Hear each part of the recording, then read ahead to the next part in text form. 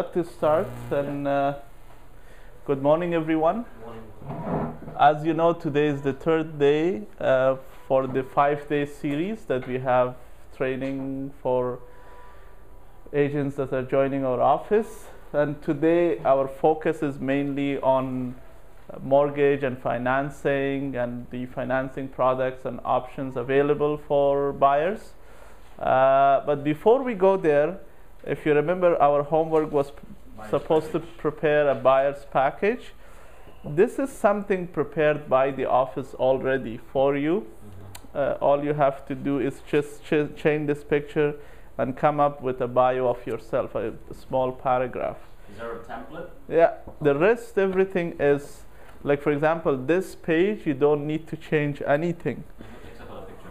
No, No? no, no. These pictures are showing that you're part of this team. Okay. So, for example, I'm, I'm your broker, Nilo is your manager, she's, and you need all these people to function. So, it shows you, makes you look big, and you will be looking like part of a team. And the seven things that you can do for them, I hope you do it. So, things like some of the things we do at the office, like MLS and KGG and things like that, some other things you go through it, I'm sure that you can do it for them. So these are the seven promises that you will make for them that you will do.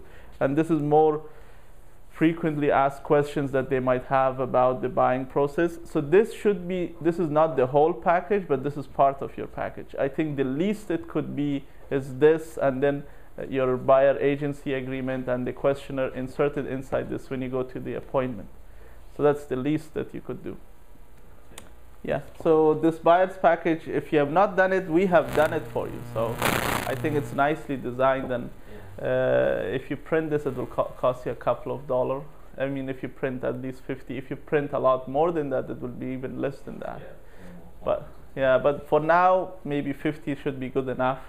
Uh, I think you need this to impress, uh, especially in your first uh, meeting with the client, and it will also give them information that, uh, especially if they're first-time buyer, they will know what's the whole process of buying. So I'm assuming there's also a sales package like that. Yeah, yeah, but the content is different. So we'll discuss that tomorrow. yeah, Okay. yeah. Any questions from yesterday or day before or anything? I was just wondering, where would we go to order those and change the pictures? You talk to Nilo. We already have the template. template. Okay. So you just send your fine, fine. just send yeah just send your picture and your bio. We will change it for you, and then send a PDF file. We cannot change anything else Yeah, yeah. because that will be too much time consuming. True. The only thing we can change is a picture here and a bio here because the rest everything else is generic. It, Mhm. it applies to everyone, Yeah. any agent. So you send this, and we will we will send the PDF version. Then you can send it to your own printer and company wherever you want to print. Uh, we have printed 50 for about hundred dollars, so that's a Two dollars. Yeah, so it will be in that range, two dollars. It's worth it. Mhm. Yeah. Not too bad. Sorry? Not too bad. Yeah, yeah. For the price. Especially the the cost of designing is more Yeah, yeah. expensive than the cost of printing. That's true. Yeah. Okay. You've done major of the work already. Yeah, but- yeah. Okay.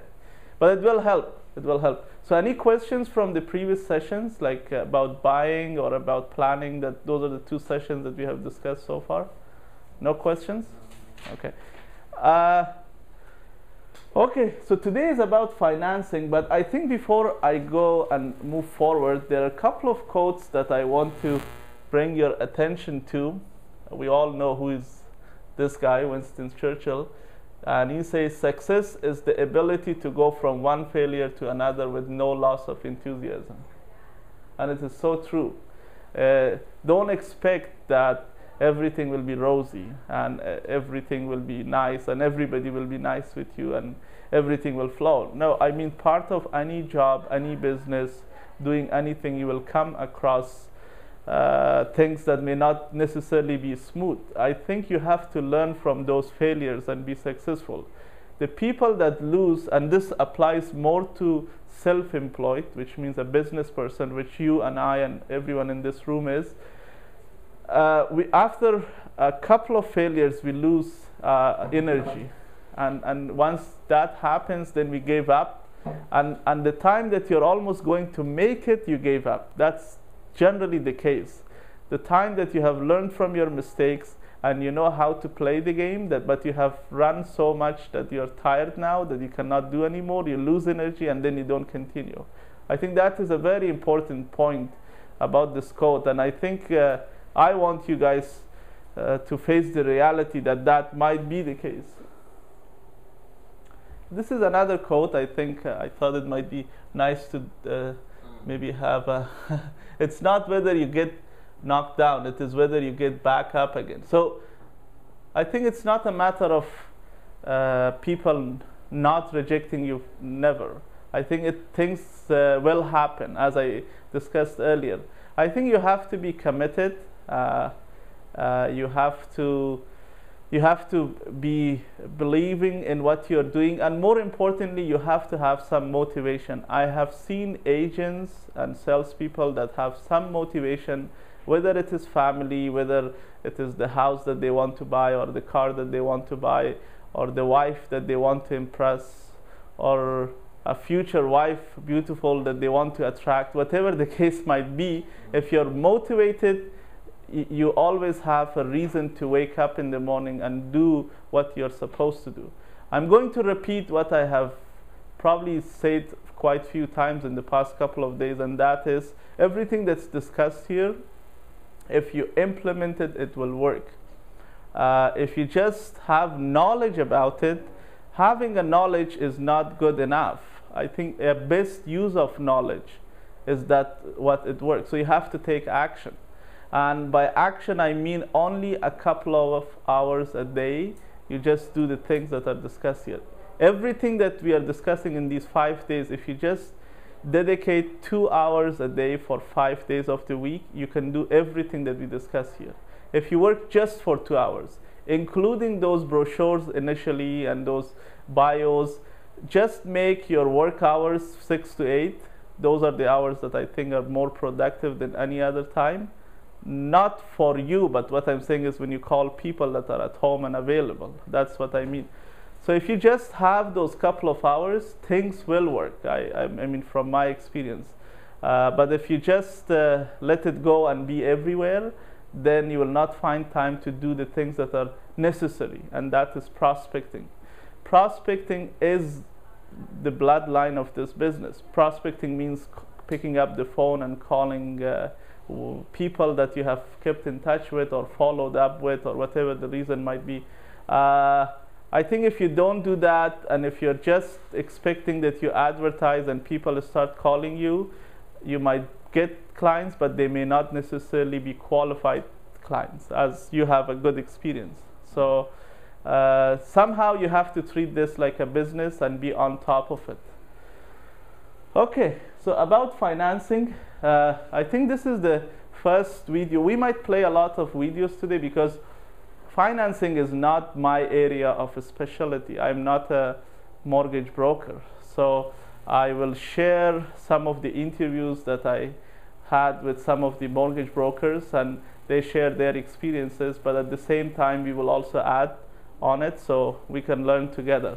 This is the first series of those videos that talks about uh, whether you should buy or rent. Now this video is prepared for the potential uh, buyer, the people that are currently renting and convincing them why buying is good. But I think this will give you a base that you can use the same argument if you're targeting a first time home buyer, people that are renting. And you can even forward this video if you think it works. Or you can prepare a video. These days, preparing a video is so easy.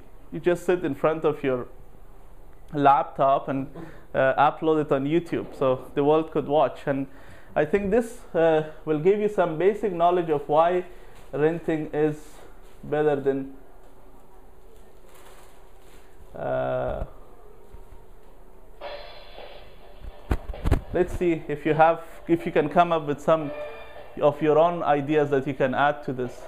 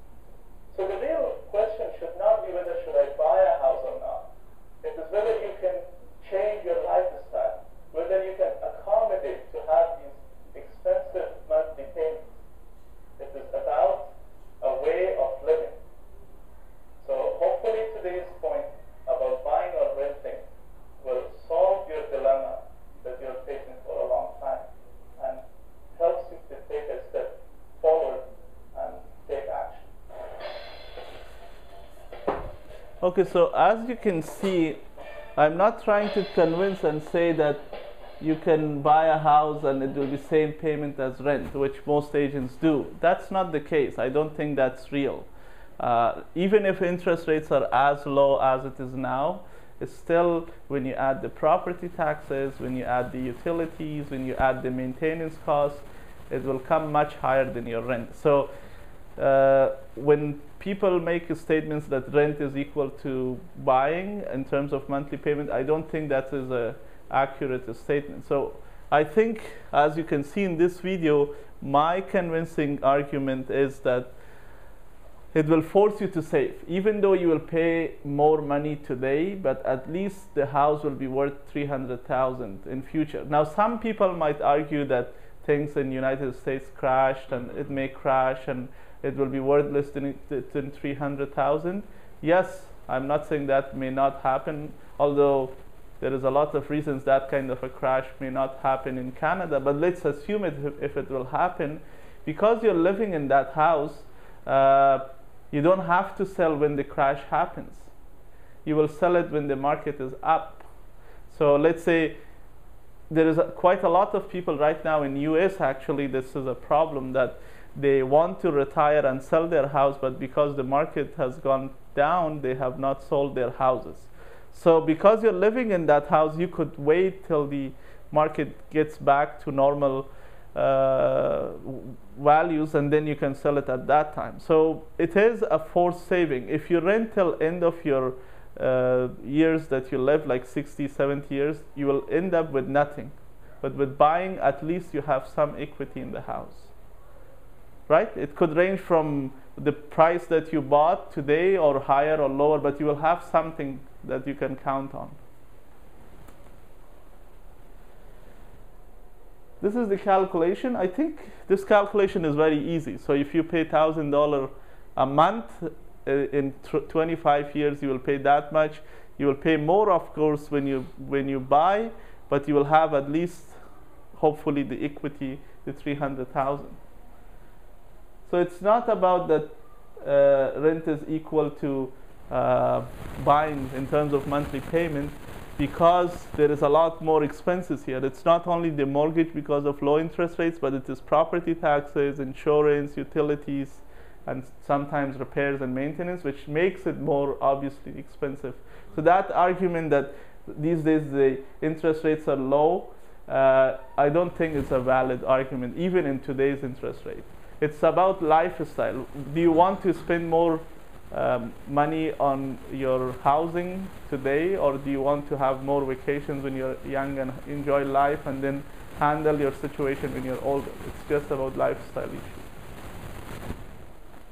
And a lot of people actually if you one of the uh, advertising or marketing uh, ideas that is convincing is that some agents argue, which is kind of valid, that you buy a house to secure the future of your children, and a lot of parents sacrifice by you know not doing a lot of things that they uh, want to do, and they buy a house and then they have bigger mortgage payments, and then you can convince them that you can buy for this reason to secure for your children or for your retirement.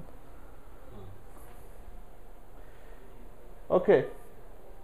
So the benefits of real estate, these are all again related to financing.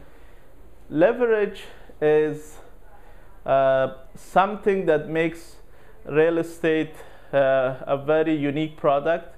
If you buy any other investment, for example, if you buy stock markets or GICs or mutual funds, you have to give in most cases 100% cash. So let's say if you invest in uh, Apple, stocks in Apple, if you buy shares, that means you'll give 100% of those shares cash. Mm. If it goes up by 20%, let's say if you invested $1,000, it is worth $1,200. But if you bought a house and invested the same amount, even if it goes 5% up, not 20% up, your investment was only 20%. So that's why your return on your investment is much higher, even though the increase or appreciation was lower. Because that's how the power of leverage works in real estate, which is not available in most other investment products. So leverage is one of the unique, and I think this is an example that illustrates what I said. So if you buy this, the house for cash, if it increases 5% a year, at the end of the day, your return will be 15% after five years, which is 45,000. But if the same house was bought with leverage, which means you came down with 20%, well, some people come down with 5 or 10 or 15, but let's say 20%, in five years, same increase, but your return is much higher because you earned 45,000 on your down payment. You don't care about this price. If this was a stock or GIC or something else, then you will pay 100% cash. So that's the difference of leveraging in terms of real estate. So that's one argument. The second argument is that your, your principal payment will be paid off. So for example, in the same scenario with 20% down, if interest rates are 5% and your amortization is 25 year, you will pay about 30,000 of that amount. So almost half of your money will come back because you're paying down the principal mortgage. Right? Any questions so far? Of course, if you buy it in a right market, uh, Toronto, for example, have been appreciating on average six, seven, eight percent, and some places like Vancouver, uh, as I showed uh, on the other meeting, has gone up in double digits every year appreciating. Uh, appreciation is something I will consider as a bonus. Unfortunately, a lot of people, for example, that buy condos in downtown Toronto, they only count on appreciation and nothing else. They think that they will buy at 400 today and next year it will be 500 and they will make 100,000. This is a bonus. You cannot always count on this. This depends on economy, real estate cycle, and so many other factors interest rates, job market, uh, and supply and demand. So I think generally a good, solid uh, real estate investor will count this as a bonus, not, not as a real uh, thing that will for sure happen. It's not guaranteed. But I think uh, if you buy uh, this uh, house in a good market, I think for me, a good market or a good uh, neighborhood or a good, town is place that is growing. The population is growing. So, for example, uh, Stouffville, where Josh you live, uh, it had a population increase of 54% in the past five years. That's a very high increase. Average Canadian growth was in the past five years, which is between 2006 and 2011, uh, Uh, 5.9%. So let's say almost 6%. average Canadian growth, population growth was 6%, but your town, Stouffville, was 54%. That's almost 10 times more. So obviously, even if the market goes down, if you're in a town like Stouffville and there is an increase in population 54%, population means more bodies, and those bodies need somewhere to be saved mm-hmm. inside the shelter. So uh, it, there will be a demand for rental for housing. So if you buy it at the right place and other factors like for example a transportation coming to the town, one of the things that helped is go go train is going to Stouffville. Yeah. So that helped uh, growing the city too. And then another thing that helped was because we will discuss this on uh, Friday. But another thing because it is just the next city after Markham, and whenever a city grows, then the cities surrounding it will also grow. Like Stouffville, it's just people are now moving from Markham to Stouffville, mm-hmm. right? So if you buy, if it appreciates by five percent a year on average, you have 45,000 increased, which is representing 15%. And if you have a principal payment and you, you had a profit of 75,000, you know, I'm not counting, previously we were, we were in the first slide uh, also discussing about other issues, but if you just consider these two factors, if it appreciates, you will have a very high return. At the end of the day, what we are trying to say is that because of leverage, because of principal payment and this bonus of appreciation. That's why most people consider to buy. And you should be aware of these three terms appreciation, principal payment, and leverage. Okay, this is something else that is very interesting that uh, everything else you buy, you have to pay tax.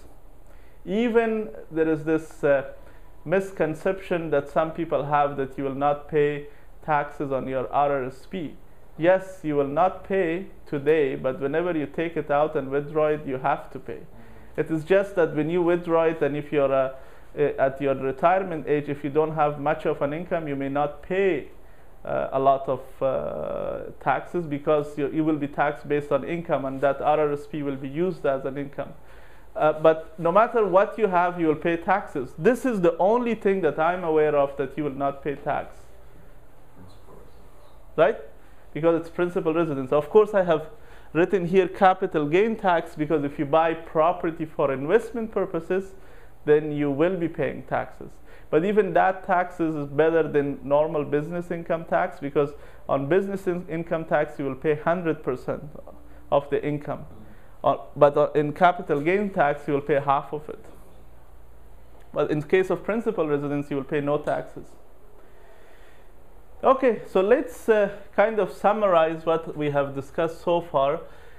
The, the, I think buying, for me, most importantly, it will force you to save money. That is the most attractive point because if you claim that your your payment mortgage payment is equal to rent and things like that i think you will be proven to be wrong. That's not a good argument. Or if you claim that prices will increase every year if you buy today and next year it will be worth more that's also not a valid argument because it's not guaranteed that it will increase forced saving is a long term vision. That means you buy today and you will pay more money out of your pocket today but down the road 20 25 30 years later you will have some money for your retirement. That's the whole argument. And it's also about lifestyle. And as i said it is uh, principal payment is paid appreciation is a bonus and because of leverage your return on your investment is much higher any questions before we move forward okay so now if you're working with a buyer uh, uh, credit scores are one of the important factors that will uh, determine whether they're qualified for a mortgage or not. So I have interviewed uh, uh, David McGee in this video. He used to be part of Royal Bank of Canada. I think he has moved to somewhere else now. So uh, he has a, he's a good mortgage broker and he explains the importance of uh, credit scores and how it works. And I think as a real estate agent, you should be having a basic knowledge of this.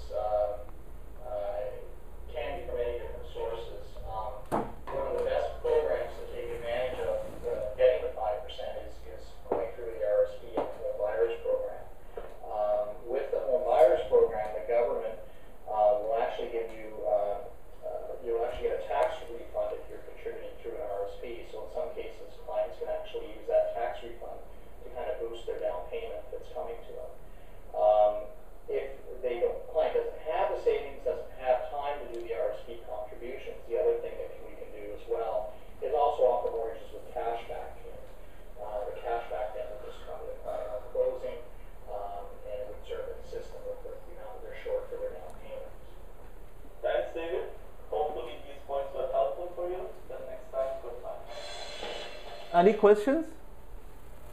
At the time of interviewing him, I think these products, mortgage products, changed. For example, a few years ago, you could buy a house with zero down payment, and he's saying 5%. Although I think most of the things that he said is still valid, but remember, these things change and you have to be updated. But I think I just want to emphasize on this slide that how your score is uh, kind of uh, divided in terms of how they score you on your uh, credit rating. The past payments represent about 35% of your credit. How you're utilizing your credit is 30%, which means if you're fully using it, if you if your I don't know line of credit or Visa card or whatever is is 5,000 and you max it out, that means you will lose a score. Uh, a rule of thumb, I think he was saying you should have 25% available. Uh, this is more like where do you have uh, and how you have made your payments and things like that. Uh, how many cards do you have?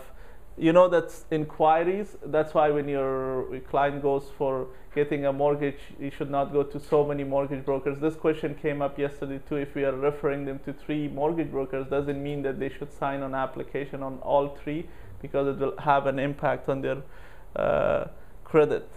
And this is the type of credits that they have. So I think the way they calculate, there might be a difference between a credit card that you're using from CIBC Visa as opposed to, I don't know, Canadian Tire or Sears. So uh, although they're all credit, but there are different type of credit. One is just you can use it at one particular store. The other one you can use it anywhere. So that's the breakdown of how they utilize your credit. Now, uh, this is the type of mortgages that are available in the market. Uh, I think I will play again. This is another. This is a mortgage broker, uh, independent, not working with any bank. Uh, let's see what she says, and then let's see if you guys have any question about the type of mortgages that are available. And I think it's important because it's mortgage. People just think it's just one type of mortgage. There are so many types of different mortgages.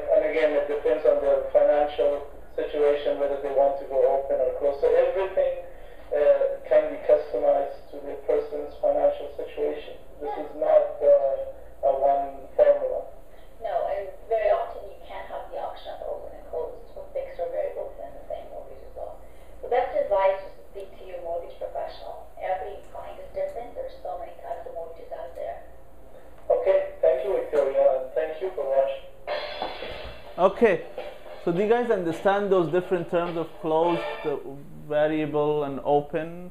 Some people confuse open with variable. Those are totally diff- two different things.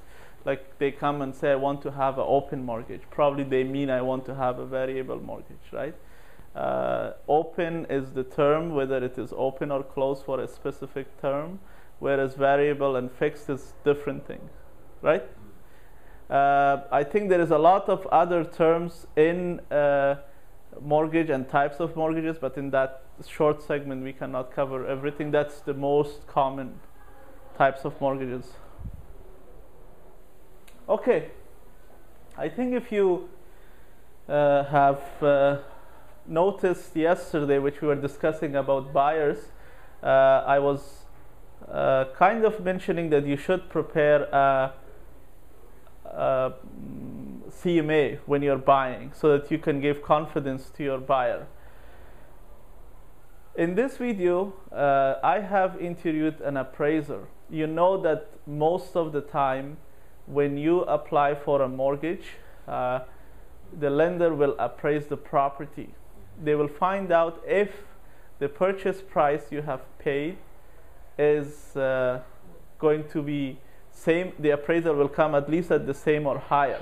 If it comes at higher, they will take the purchase price that you have paid on your, on your agreement of purchase and sell. If it comes lower, you will have to pay the difference. So let's say if you bought at uh, 500 and the appraisal comes at 450, you have to give not only the down payment, let's say 5, 10, or 20 percent, but in, in addition to that, the difference between 450 and 500, which is a lot of money.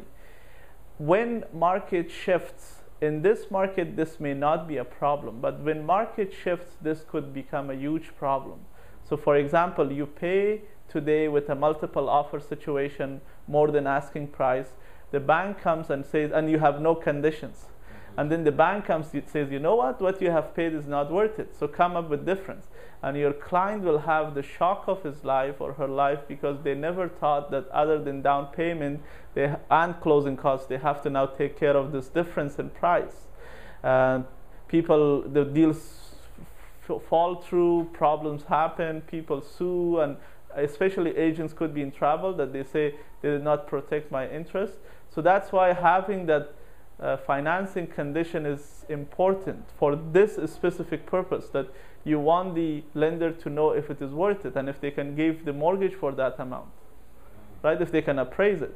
Uh, so appraisal becomes a crucial issue. And, and i think even if you have financing condition which is for five days if you're not working with a professional uh, mortgage uh, agent sometimes they delay this appraisal till after five days. They say, oh, everything is okay, you waive it. And you waive the conditions, and then just before closing, you come to know that you know this property did not appraise at the price that it was supposed to, and then everyone is in trouble. So when you're working with a mortgage broker, make sure to tell him or her that please appraise the property within that five days. When you go for CMHC financing, CMHC sometimes may not do the appraisal. They have their own system. I think it's called Maya, that it's computerized. So what they do is they look at the neighborhood and then they come up with your price. But if you go through conventional mortgage, which is that means your client is giving 20% or more down payment, most probably the banks will go for uh, appraisal there might be odd banks that may not go for appraisal, but whatever the case might be, I think you should ask this question because your client is not aware of this issue. You should ask the mortgage broker, are you going to do the appraisal within these five days? If it is needed to be done. If it is not needed to be done, of course, no one is going to be worried about it. But if it is needed to be done, it, it has to be done within, within those five days. By the way, just uh, something that's out of your control, the bank may come closer to closing time and do another appraisal and may say, you know what, now I cannot give you that much loan because the market has shifted.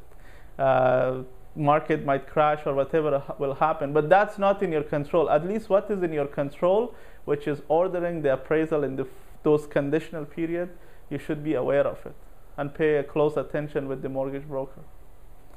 Okay, so how that appraisal works, I think this video is about that maybe it will give you a basic knowledge. And again, we are not appraisals, right? And never call yourself that I'm coming to appraise your property. We are evaluating their property. These professionals are charging money and they are appraising the property, which they gave a written report.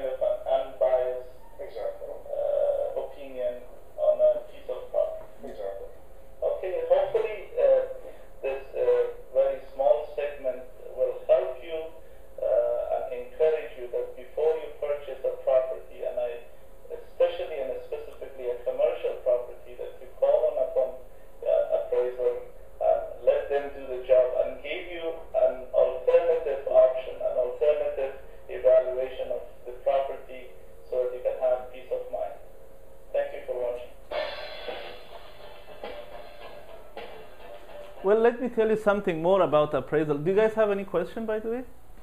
Later. Okay, so I will tell you my point and then you can ask me the question. Uh, appraisals are also human beings, and, and I think they will get influenced, for example, by your purchase price. So let's say if their evaluation comes at five or ten thousand below the purchase price, they might just say it is at the purchase price. So they will get influenced by the purchase price. Some appraisers are more stricter than others; they are more specific. So it depends. I, I, these appraisals are not selected by you; they are on the list uh, of uh, uh, banks or financial institutions that they will call upon themselves directly and they will send. Generally, they are paid by the lender. If not, it is generally paid by the mortgage broker. So they take care of this. But uh, I, I think the other thing that you should know that generally appraisals come below the market value. So eh, I have seen as low as 10%, 20%, 5% below the, what the value of the property is because they want to protect themselves. So things go to court and they're called upon. They have to protect the evaluation that they have put forward to the financial institution. So they will be more conservative than market. because in market there is hype there is emotions people will buy because the kitchen looks so good. They will pay 50000 more because of a kitchen that is just a little bit better and the owner has spent maybe 5000 so they will pay another 40 45000 just for nothing. Mm. But appraisals will not do that. They are more with numbers and number crunching. So they're more conservative than the market. So you have to be careful when you buy properties and go for financing and you have not a kind of made sure that the appraisals will come on time during the due diligence or during the mortgage financing period. So your questions? Well, well, uh, you answered about fifty percent of it. Okay. but so, for example, like a bank, when they look at the uh, appraisals done by the appraiser, and what is the the the discount factor percentage-wise that the bank is willing to go up to twenty percent of the value or twenty-five? No, they will not discount anything. As no, for what I mean is like say you know the say the value is five hundred thousand and the appraiser says worth four seventy-five. they will go with 475. So, but then the client has to come up with the difference of difference yes the banks will as financial institutions because remember banks again there are human beings sitting on the other side right. so uh, uh, let's say a loan officer for hmm. lack of word let's call that person loan officer will not take the risk of losing his or her job by giving you a five approving a 500000 evaluation if the appraisal came for f- 475 mm-hmm. these are all linked to each other. He will give loan based on 475, not because he's sitting at his office desk and feeling that it's worth 500, but because the appraisal said so. Right. So his approval or her approval is based on the appraiser. Right. And then the appraiser will appraise it based on his uh, opinion of the value. So everybody wants to protect in this chain that just in case things go wrong, they're all protected. So, for example, appraisal comes back with 490. Yeah, then your client will have to come the difference. Wow. Yeah, and sometimes clients will be upset because they will say you bought this property more expensive for me, and that may not necessarily be the case. Maybe that is the market value. Right. Yeah, but generally, what I have seen is that if it is very close, I mean, the appraisal just says it's worth at the purchase price. If it is within a few thousand, but if there is a big difference, they will you have to come up with a difference, which sometimes it's a big money, big money. So let's say if your client only has five percent of five hundred thousand, which is twenty-five thousand, and they have added another five thousand for closing costs, so the, their whole budget is about thirty thousand. If the appraisal comes 25,000 less like at 475 it's like them buying another house. Yeah. where will they come up with that money? So you have to be very careful about this issue with the mortgage broker especially when the market shifts this will become more common problem by the shift i mean today it's at one price at the Yeah. time of closing it's a different lower price So that can make the deal fall through. Oh yeah, oh yeah. And people get sued and commissions not paid and agents get in trouble. So just to protect yourself and your commission, uh, although this has less to do with you and more with the mortgage broker, it is mortgage broker's duty to, to make sure that the appraisal is done within before they give the conditional period. I mean, and also other things, just to be a word of ca- caution. When the mortgage broker says that it's okay, you can waive the condition, ask your client to ask them to send something in writing that they can waive the condition. Then your client will be more protected. Right? Because most, I can tell you from experience, most or some, I don't know whether should I say most or some, but at least there will be mortgage brokers that will not do appraisal during those uh, due diligence period. Next question. Will the will uh, during an appraisal, a finished basement or, or unfinished basement, will that have a effect on an appraisal or price of property? It might, but not a big deal.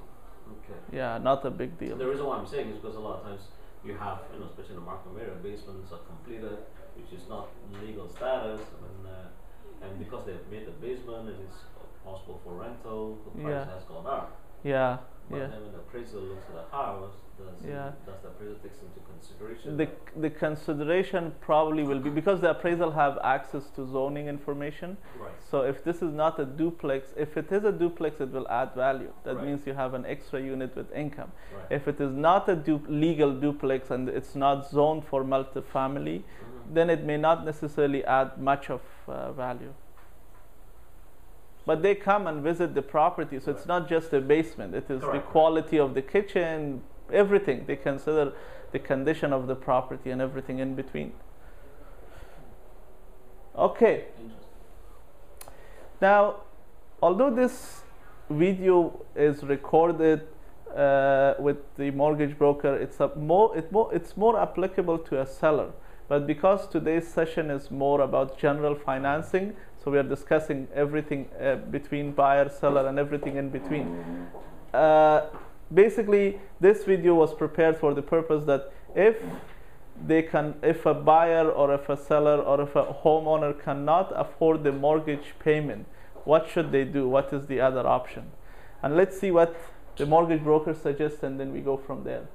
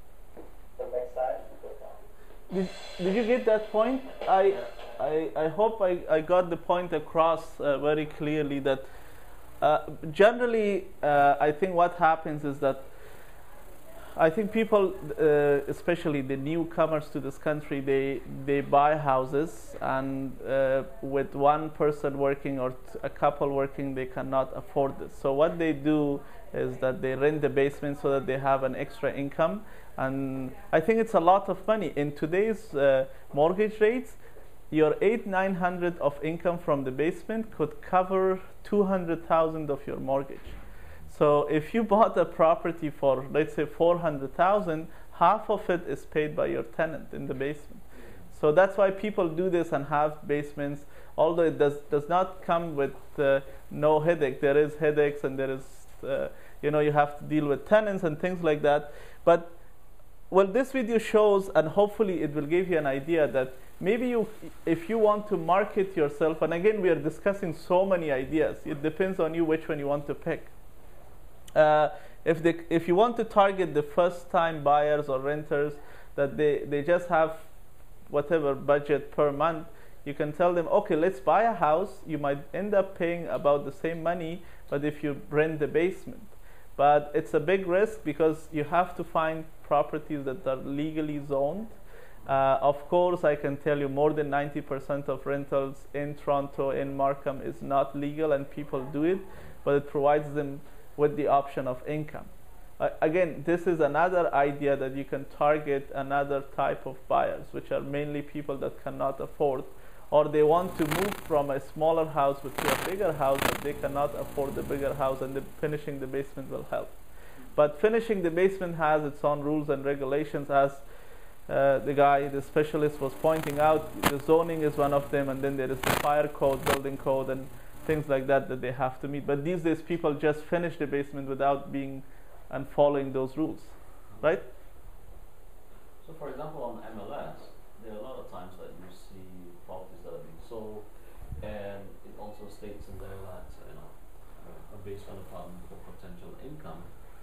So, would that be false advertising in regards to regulation, or I think that because first of all they use the word potential income. yeah? Secondly, if it is, you might rent that to your kid and charge them money. You might rent that to your in-law and charge them money. So, uh, you know, as, as it is called in-law, in-laws basement, suite or basement, which means uh, it could be somebody related to you, but they're living in the basement. So that could be the case. Oh, another thing that I just want to point out about basements is that you, when you're doing the in, the insurance, you make sure that you tell your clients that they should inform the insurance that they have a tenant, because I know someone they had a fire in the basement, did not inform the insurance, the insurance did not cover. So you have to be careful. It's exactly 11 o'clock. Do you guys want to take a break and come back? Sure. Yeah. Is it okay that can you guys promise in 10 minutes to be back? Yeah, yeah, yeah. Okay, 10 minutes is good enough? Yeah. I watch it so. Yeah. I think the topics are interesting, so the time passes fast. Yeah. What's today's date? 15. Day after Valentine's.